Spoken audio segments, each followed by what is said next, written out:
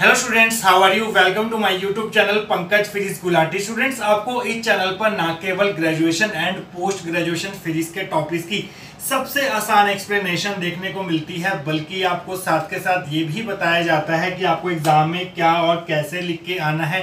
ताकि आप सिर्फ़ एक वीडियो देख के ही अपने नोट्स बना सकें और एग्ज़ाम्स में बहुत अच्छे मार्क्स ला सकें। तो स्टूडेंट्स आज ही चैनल को सब्सक्राइब कीजिए और पाइए नोटिफिकेशन मेरी नई वीडियो का सबसे पहले।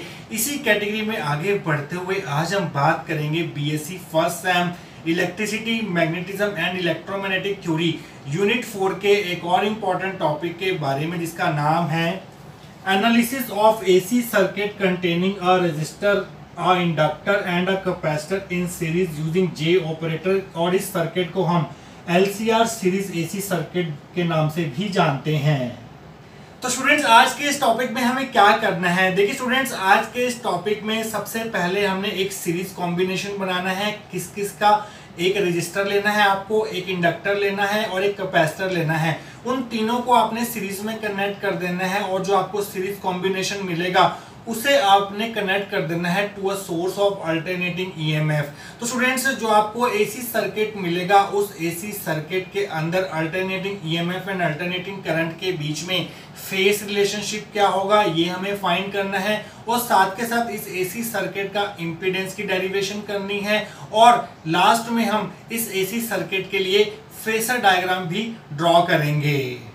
तो स्टूडेंट्स देखिए, यहाँ पर ये वाला एसी सर्किट आपको एग्ज़ाम में ड्रॉ करके आना है। यहाँ पर हमने एक रजिस्टर लिया आर एक इंडक्टर लिया एल और एक कैपेसिटर लिया सी इन तीनों को हमने सीरीज़ में कनेक्ट कर दिया और इस series combination of resistor inductor and capacitor को हमने कनेक्ट कर दिया to a source of alternating EMF जिसकी इक्वेशन है E is equal to E naught E to power J omega T जहाँ पर E नॉट जो है वो है peak value of alternating EMF omega T है phase of alternating EMF at time T और कैपिटल ई है instantaneous value of alternating EMF at time T देखिए स्टूडेंट्स इस अल्टरनेटिंग वोल्टेज सोर्स के कारण इस सर्किट में करंट फ्लो करेगा आई करंट फ्लो करेगा, और रजिस्टर आर इंडक्टर एल और कैपेसिटर सी तीनों में सेम करंट फ्लो करेगा, और वो होगा आई तो स्टूडेंट्स यहाँ पर आर के करो जो वोल्टेज ड्रॉप होगा एट टाइम टी उसको हमने ई e आर से डिनोट कर दिया।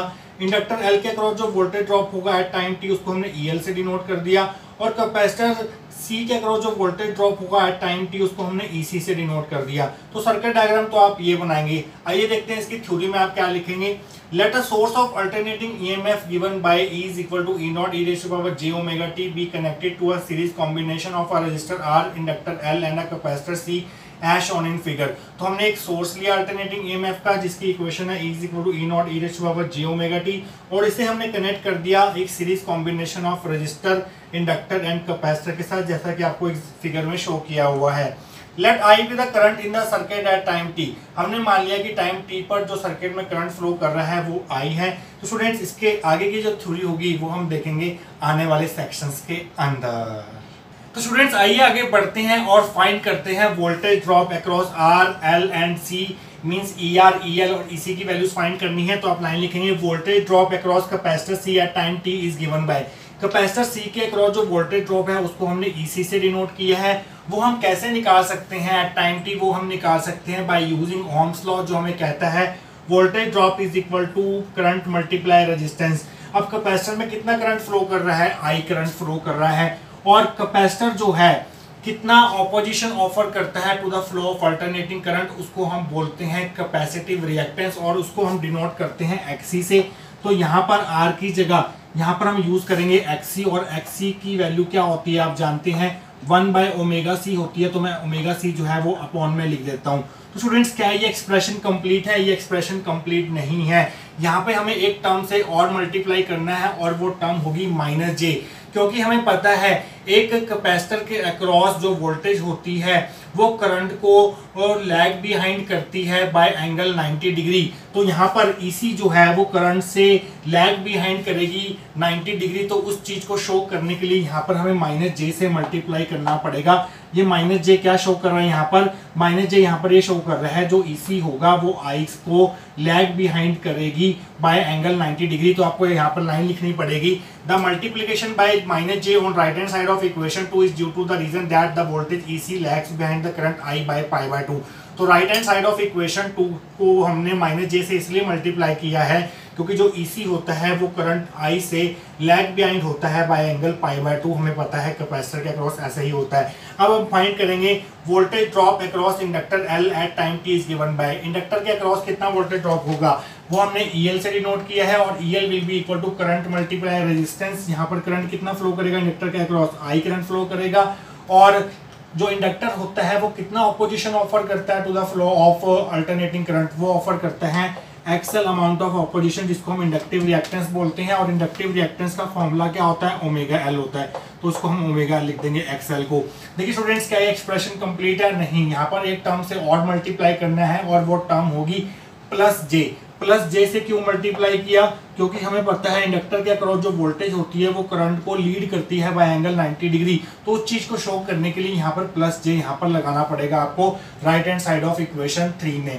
The multiplication by J on right hand side of equation three is due to the reason that the voltage E L leads the current by pi by two right hand side of equation three को J से multiply किया गया है, क्योंकि हमें पता है जो वोल्टेज होती है इंडक्टर के अक्रॉस वो करंट आई को लीड करती है बाय एंगल 90 डिग्री तो उस चीज़ को शो करने के लिए यहाँ पर हमने प्लस जे से मल्टीप्लाई किया है। तो स्टूडेंट्स ई एल और ई सी की वैल्यू फाइंड कर ली है। नेक्स्ट सेक्शन में हम फाइंड करेंगे वैल्यू ऑफ़ ई आर तो चलिए स्टूडेंट्स आगे बढ़ते हैं और देखते हैं आप आगे इसमें क्या ऐड करके आएँगे, इसकी थ्योरी में। Voltage drop across resistor R at time T is given by अब आर के अक्रॉस वोल्टेज ड्रॉप कितना होगा? E R and that will be equal to current multiply resistance I multiply R तो students क्या है यहाँ पर हम प्लस जे या माइनस जे से मल्टीप्लाई करेंगे? नहीं करेंगे, क्योंकि हमें पता है रजिस्टर के अक्रॉस जो वोल्टेज एंड करंट होते हैं, वो सेम फेस में होते हैं, उनमें कोई भी फेस डिफरेंस नहीं होता। तो आपको सिंपली आई मल्टीप्लाई आर लिखना है, ना तो यहाँ प्लस जे से मल्टीप्लाई करना है ना माइनस जे से मल्टीप्लाई करना है, ये हमारी फोर्थ इक्वेशन होगी। तो स्टूडेंट्स आगे देखते हैं total voltage across the combination is given by अब इस पूरे सीरीज़ कॉम्बिनेशन के अक्रॉस कितना वोल्टेज ड्रॉप होगा that will be the sum of E R E L and E C so E R plus E L plus E C और ये तीनों का सम किसके बराबर होगा? अप्लाइड वोल्टेज ई के बराबर होगा तो यहाँ पर आपको ई इज़ इक्वल टू लिखना पड़ेगा।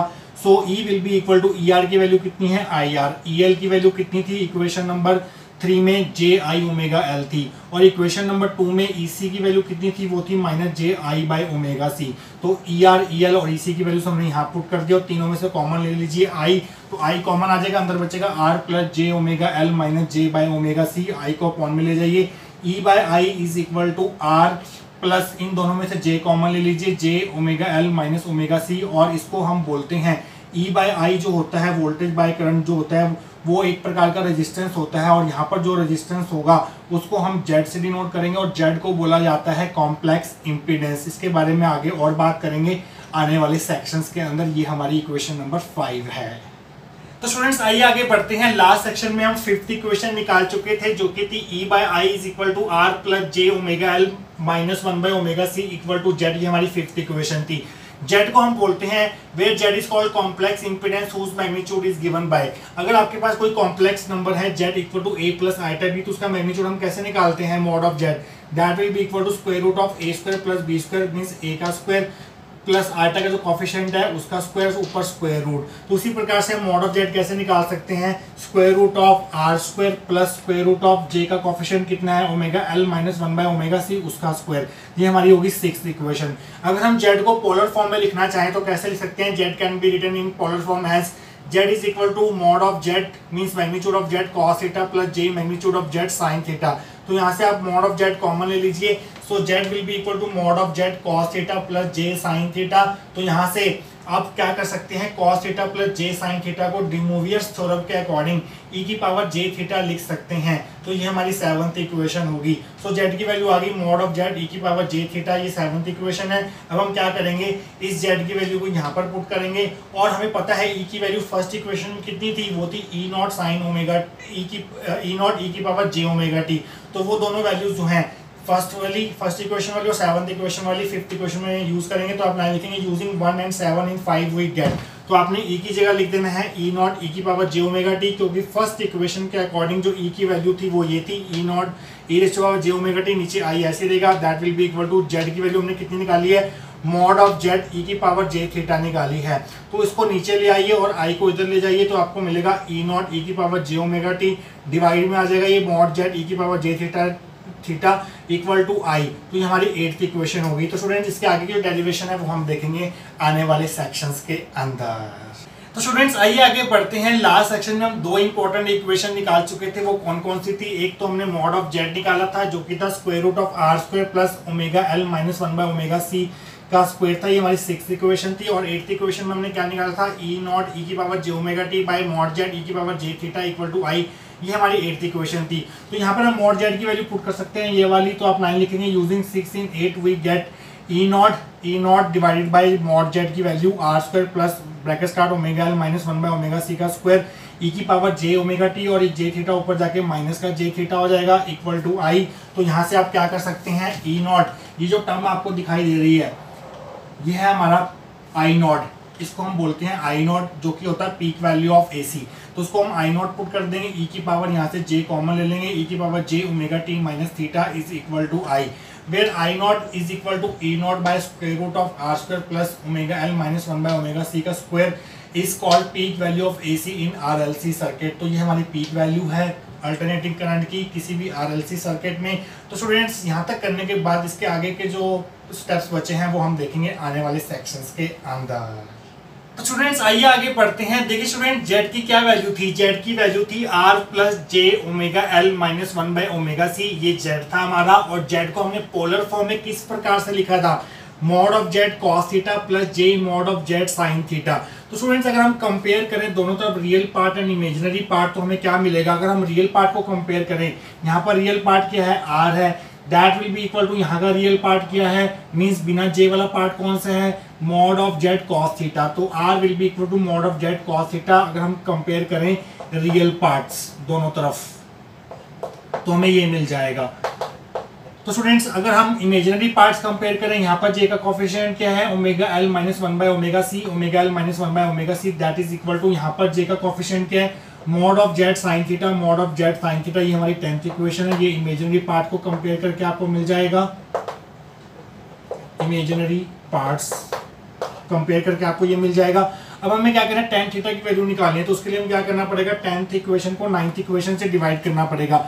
Dividing ten by nine we get omega L minus one by omega C इसको इससे डिवाइड करेंगे। Omega L minus one by omega C by R is equal to इसको इससे डिवाइड करेंगे। Mod of Z sine theta by mod of Z cos theta तो mod Z से mod Z cut जाएगा तो आपको मिलेगा omega L minus one by omega C by R is equal to tan theta ये हमारी eleventh equation होगी। तो स्टूडेंट्स इस इक्वेशन के बेस पे हमारे तीन स्पेशल केसेस बनेंगे। उन केसेस को हम वन बाय वन डिस्कस करेंगे आने वाले सेक्शंस के अंदर। स्टूडेंट्स लास्ट सेक्शन में हमने टेन थीटा की वैल्यू निकाली थी, जो कि क्या थी? Omega L minus one by omega C by R ये हमारी इलेवंथ इक्वेशन थी। और फ़र्स्ट इक्वेशन क्या थी? E is equal to E naught E की पावर जे ओमेगा टी और करंट की इक्वेशन क्या निकली थी? आरएलसी सर्किट में I is equal to I naught E की power J omega T minus theta निकली थी। इसको हम ट्वेल्थ इक्वेशन मान लेते हैं। तो स्टूडेंट्स पहला केस डिस्कस करते हैं। If omega L is greater than omega one by omega C अगर ओमेगा एल ग्रेटर देन हुआ वन बाय ओमेगा सी से तो आपका जो टेन थीटा होगा वो पॉजिटिव होगा, क्योंकि ये टर्म बड़ी होगी, ये छोटी होगी तो टेन थीटा की वैल्यू ग्रेटर देन ज़ीरो निकलेगी। Tan theta greater than zero होगा तो उस केस में थीटा जो है वो पॉजिटिव हो जाएगा। अगर थीटा पॉजिटिव हुआ तो जैसा कि आप फ़र्स्ट और ट्वेल्थ इक्वेशन को कंपेयर करके देख सकते हैं। फ़र्स्ट इक्वेशन में ईएमएफ का फेस कितना है? ओमेगा टी है। और करंट का फेस कितना है? ट्वेल्थ इक्वेशन में ओमेगा टी माइनस थीटा है। तो इस केस में करंट जो होगा, वो वोल्टेज को लैग करेगा बाय एंगल थीटा। और आप ये भी कह सकते हैं कि वोल्टेज जो है, वो करंट को लीड करेगी बाय एंगल थीटा। तो पहले केस का रिज़ल्ट ये निकलेगा। In this case tan theta and hence theta will be positive इस केस में टेन थीटा पॉजिटिव होगा। इसका मतलब थीटा भी पॉजिटिव होगा। In this case alternating EMF E across the combination leads the current by angle theta. अगर हम इन दोनों इक्वेशन को कंपेयर करें तो हम देख सकते हैं कि ई e का फेस ओमेगा टी है और आई का phase omega t minus theta means EMF जो है वो करंट को लीड करेगी बाय एंगल थीटा आइए ड्रॉ करते हैं फ़र्स्ट केस का फेसर डायग्राम तो सबसे पहले हम करंट को ड्रॉ करते हैं। ये हमारा करंट है, मान लीजिए, क्योंकि हमें पता है कि जो रजिस्टेंस के अक्रॉस वोल्टेज होती है, वो सेम फेस में होती है। तो सेम फेस में बनाने के लिए ये हमारा आई है और सेम फ़ेज़ में वोल्टेज होगी। उसको हम डिनोट करते हैं। मैक्सिमम वोल्टेज अक्रॉस रेजिस्टेंस को हम डिनोट करते हैं ई ज़ीरो आर से। तो स्टूडेंट्स हमें पता है इंडक्टर के अक्रॉस जो वोल्टेज होती है, वो करंट को लीड करती है बाय एंगल 90 डिग्री तो ये इंडक्टर के अक्रॉस जो वोल्टेज होगी मैक्सिमम वोल्टेज अक्रॉस इंडक्टर उसको हम डिनोट करते हैं ई ज़ीरो एल से। ये 90 डिग्री आगे होगी करंट से। और स्टूडेंट्स हमें पता है कैपेसिटर के अक्रॉस जो वोल्टेज होती है, वो करंट से लैग बिहाइंड करती है बाय एंगल 90 डिग्री ये है मैक्सिमम वोल्टेज अक्रॉस कैपेसिटर जो कि 90 डिग्री पीछे रहेगी। अब स्टूडेंट्स यहाँ पर हमारे पास तीन वोल्टेजेस हैं। E zero R E zero L and E zero C हमें इन तीनों का रिजल्टेंट निकालना है। वो हम कैसे निकालेंगे? पहले हम इन दोनों का रिजल्टेंट निकालेंगे। मान लीजिए स्टूडेंट्स ये वेक्टर जो है वो ट्वेंटी है, ये टेन है। तो रिजल्टेंट कैसे निकालेंगे? ट्वेंटी माइनस टेन और वो किसकी डायरेक्शन में होगा? मैक्सिमम वाले के डायरेक्शन में होगा। ई ज़ीरो एल यहाँ पर ई ज़ीरो सी से बड़ा है तो उस केस में जो रिजल्टेंट होगा, वो इस डायरेक्शन में होगा और जो रिजल्टेंट होगा, इसको हम ओ पॉइंट मान लेते हैं, इसको हम पी पॉइंट मान लेते हैं तो ओ पी हमारा रिजल्टेंट होगा and that will be equal to E zero L minus E zero C तो स्टूडेंट्स दो वेक्टर्स को हमने सिंगल वेक्टर में कन्वर्ट कर दिया ओपी में कन्वर्ट कर दिया। अब हमें इसका और इसका रिजल्टेंट निकालना है तो उसके लिए हमें क्या करना पड़ेगा? एक पैरेललोग्राम ड्रॉ करना पड़ेगा। ये हमने पैरेललोग्राम ड्रॉ कर दिया और इसका जो डायगोनल होगा, that will give you resultant EMF across the combination and that will be equal to E0 and E0 किसके बराबर होगा? अगर हम पाइथागोरस थ्योरम लगाएँ, अगर ये हमारा E0 L minus E zero C है तो ये भी हमारा E0 L minus E zero C हो जाएगा। तो पाइथागोरस थ्योरम लगा के इस डायगोनल की वैल्यू क्या निकलेगी? That will be equal to square root of base का स्क्वायर प्लस परपेंडिकुलर का स्क्वायर। परपेंडिकुलर हमारा ये है ई ज़ीरो एल जहाँ बड़ी ब्रैकेट लगानी पड़ेगी हमें माइनस ई ज़ीरो सी का होल स्क्वायर यहाँ पर पूरा स्क्वायर रूट तो स्टूडेंट्स ये आ गया हमारे पास। इसके, इसी एक्सप्रेशन को यूज़ करते हुए हम नेक्स्ट सेक्शन में फाइंड करेंगे। Impedance of RLC circuit for case one तो स्टूडेंट्स लास्ट सेक्शन में हम यहाँ तक निकाल चुके थे E naught is equal to square root of E zero R square plus बड़ी bracket start E zero L minus E zero C का होल स्क्वायर तो वही मैंने यहाँ पर लिख दिया। अब इसको हम सॉल्व करते हैं E zero R it is a maximum voltage across the resistance वो हम कैसे निकाल सकते हैं? That will be equal to I zero multiply R current multiply resistance का स्क्वायर प्लस अब यहाँ पर E zero L E zero L क्या होगा? मैक्सिमम वोल्टेज अक्रॉस इंडक्टर वो हम कैसे निकाल सकते हैं? आई ज़ीरो मल्टीप्लाई एक्सएल हम आई ज़ीरो क्यों ले रहे हैं? क्योंकि आई ज़ीरो जो है, वो है पीक वैल्यू ऑफ़ करंट वही आपको यहाँ पर लेना पड़ेगा, क्योंकि हम मैक्सिमम वोल्टेजेस की बात कर रहे हैं यहाँ पर। Minus I zero X C that will be E zero C का होल स्क्वायर अब तीनों में से जो है आई ज़ीरो का स्क्वायर कॉमन आएगा और आई ज़ीरो का स्क्वायर कॉमन लेंगे अगर आप स्क्वायर रूट में से तो वो आई ज़ीरो बन के बाहर आएगा। E zero will be equal to I zero square root of R square plus XL minus XC का स्क्वायर रह जाएगा। तो आई ज़ीरो का पॉइंट में ले जाते हैं। E zero by I zero is equal to square root of R square और एक्सएल क्या था हमारा? Omega L minus X C क्या था हमारा? वन बाय ओमेगा सी का square. That is equal to और ये किसकी वैल्यू थी? मॉड ऑफ़ जेड की वैल्यू थी। और इसको हम बोलते हैं इंपीडेंस ऑफ़ आरएलसी सर्किट तो फ़र्स्ट केस का हमने फेसर डायग्राम भी ड्रॉ कर लिया और साथ के साथ इंपीडेंस भी निकाल लिया। बाकी दो केसेस की बात करेंगे हम आने वाले सेक्शंस के अंदर। तो स्टूडेंट्स आइए बात करते हैं केस नंबर टू की। केस नंबर टू है हमारा when omega L is less than one by omega C case one का बिल्कुल ऑपोजिट है। केस वन में omega L is greater than one by omega C हमने माना था। अब हम लेट कर रहे हैं omega L is less than one by omega C तो उस केस में अगर omega L one by omega C से लेस हुआ तो ये टर्म नेगेटिव हो जाएगी means tan theta less than zero हो जाएगा। Tan theta less than zero होगा मीन्स थीटा जो है आपका नेगेटिव निकल के आएगा। अगर थीटा नेगेटिव होगा तो यहाँ पर प्लस का साइन आ जाएगा। और अगर हम फ़र्स्ट और ट्वेल्थ इक्वेशन को कंपेयर करें, इस केस में यहाँ प्लस का साइन हो जाएगा, क्योंकि थीटा जो है नेगेटिव हो गया है। और पहले ही नेगेटिव साइन था तो यहाँ प्लस हो जाएगा।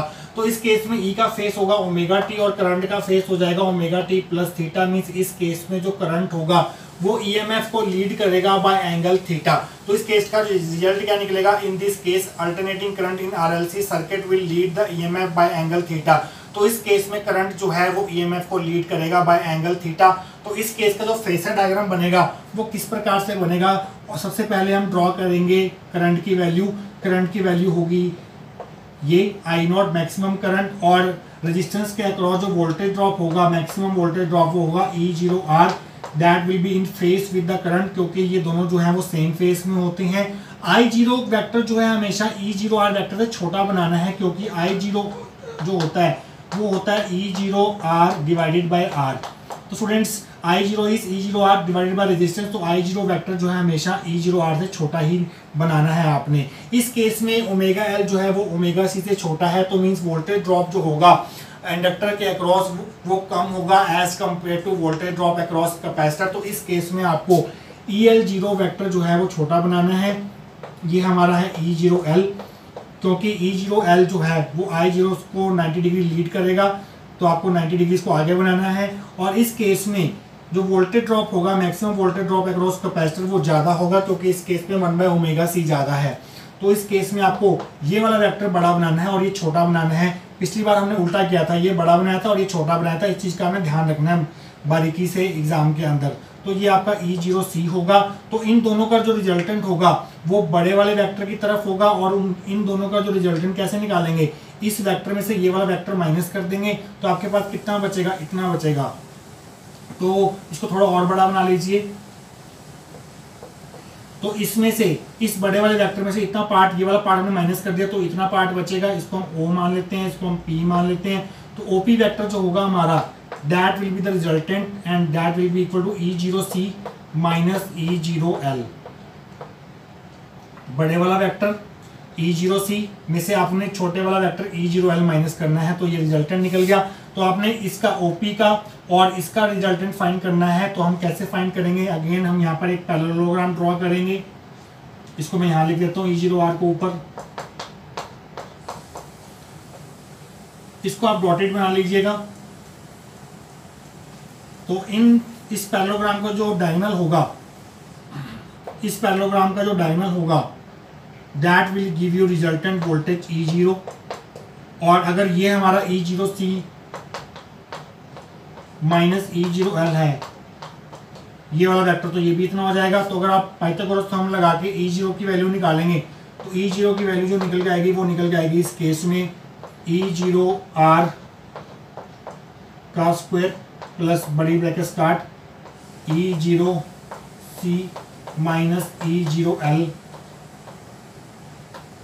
का स्क्वायर तो स्टूडेंट जब आप इसको सॉल्व करेंगे, जैसे हमने फ़र्स्ट केस में सॉल्व किया था तो सॉल्व करके आपको इंपीडेंस की वैल्यू मिल जाएगी और E zero by I zero का एक्सप्रेशन आपके पास निकल आएगा। जैसे हमने फ़र्स्ट केस में किया था, सारे स्टेप वही फॉलो करने हैं। तो उस केस में आएगा square root of R square plus one by omega C minus one omega L का whole square equal to mod Z is impedance of R L C circuit तो स्टूडेंट्स यहाँ पर ओमेगा पहले पहले के इसमें omega L minus one by omega C R था आपकी बार one by omega C minus omega L आएगा। बस यही फ़र्क है। तो स्टूडेंट्स सेकंड केस भी कंप्लीट हो गया। इसके बाद हम डिस्कस करेंगे third and last case of this topic next section के अंदर। तो स्टूडेंट्स आइए बात करते हैं लास्ट केस की। इस केस में आप हेडिंग में case number three when omega L is equal to one by omega C अगर ये दोनों टर्म्स बराबर हो गई तो ये टर्म ज़ीरो हो जाएगी तो टेन थीटा ज़ीरो हो जाएगा। इसका मतलब थीटा ज़ीरो हो जाएगा। टेन थीटा ज़ीरो कब होता है? ज़ीरो पे होता है। Then tan theta is equal to zero and theta is equal to zero अगर थीटा यहाँ पर ज़ीरो पुट कर दिया जाए, यहाँ पर ओरिजिनली जो हमने इक्वेशन निकालती है वो माइनस थीटा के साथ निकाली थी। अगर यहाँ पर हम थीटा को ज़ीरो पुट कर दें तो ये आपका ई e की पावर जे ओमेगा टी रह जाएगा तो इस केस में ये वाला फेस और ये वाला फेस जो है वो सेम हो जाएगा। इसका मतलब alternating EMF and alternating current जो होंगे इस केस में, इस आरएलसी सर्किट के अंदर वो दोनों सेम फेस में होंगे। आइए इसका वो ड्रॉ करते हैं फेसर डायग्राम तो सबसे पहले हम ड्रॉ करेंगे करंट की वैल्यू ये है I zero maximum current in the circuit और जो रजिस्टेंस के अक्रॉस जो वोल्टेज होती है ई ज़ीरो आर वो करंट के साथ सेम फेस में होती है तो ये वाला वेक्टर भी इसी डायरेक्शन में बनेगा। आई ज़ीरो जो है हमेशा ई ज़ीरो आर वेक्टर से छोटा बनाना है, क्योंकि इस केस में ओमेगा एल और वन बाय ओमेगा सी दोनों बराबर हैं। Means inductive reactance and inductive capacitance दोनों बराबर हैं। तो इस केस में जो मैक्सिमम वोल्टेज ड्रॉप होगा अक्रॉस इंडक्टर एंड कैपेसिटर वो भी सेम होगा, क्योंकि दोनों के अंदर करंट सेम फ्लो कर रहा है। अगर दोनों के रिएक्टेंसिस सेम है तो उनके अक्रॉस जो है वोल्टेज ड्रॉप भी सेम होगा। तो इस केस में आपने ई एल ज़ीरो वैक्टर जो कि 90 डिग्री आगे होगा करंट से। ये वाला वेक्टर और ये वाला वेक्टर इक्वल लेंथ के बनाने हैं। इस चीज़ का आपने ध्यान रखना है। ये वाला वेक्टर और ये वाला वेक्टर इक्वल लेंथ के होने चाहिए? एग्जामिनर को साफ़ लगना चाहिए कि आपने इक्वल लेंथ के बनाए हैं। ये 90 डिग्री आगे है और ये 90 डिग्री पीछे है तो ये दोनों वेक्टर जो है एक दूसरे को कैंसिल कर देंगे और इस केस में जो नेट वोल्टेज होगी, वो सिर्फ़ ई ज़ीरो आर के बराबर होगी क्योंकि ये दोनों वोल्टेजेस इक्वल एंड ऑपोजिट हैं, एक दूसरे को कैंसिल आउट कर देंगी। तो इस केस में जो नेट वोल्टेज होगी E0 that will be equal to maximum voltage across resistance E0R that is equal to I naught multiply R तो इस केस में अगर हम E naught by I naught का जो रेशो निकालेंगे, वो हमारे पास R के बराबर निकल के आएगा और E naught by I naught के रेशो को हम जेड से डिनोट करते हैं या फिर आप कह लो मॉड जेड से डिनोट करते हैं तो इस केस में जो हमारा इम्पीडेंस निकल के आएगा, वो मिनिमम निकल के आएगा और करंट जो है, वो मैक्सिमम होगा इस केस में और एक कंडीशन हम यूज़ करेंगे सीरीज़ रेजोनेंट सर्किट वाले केस में जब हमारा ओमेगा एल जो है वन बाय ओमेगा सी के बराबर हो जाएगा। ये कंडीशन हम यूज़ करेंगे सीरीज़ रेजोनेंट सर्किट के केस में। तो स्टूडेंट्स ये है आपका आरएलसी सर्किट इसमें आपको तीन तीन फ़ेज़ डायग्राम बनाने हैं corresponding to three different cases और जो मैंने आपको यहाँ बताया, वो सब कुछ लिख के आना है। मैक्सिमम एट मार्क्स का और मिनिमम सिक्स मार्क्स का क्वेश्चन आएगा। तो जितना मैंने आपको बताया, अगर आप सब लिख आते हैं तो आपको हंड्रेड परसेंट जो है वो पूरे मार्क्स ही मिलेंगे। तो स्टूडेंट्स आई होप आपको आज का टॉपिक जो है वो अच्छे से समझ आया होगा। मिलेंगे किसी और important topic of unit four के साथ। Till then thank you so much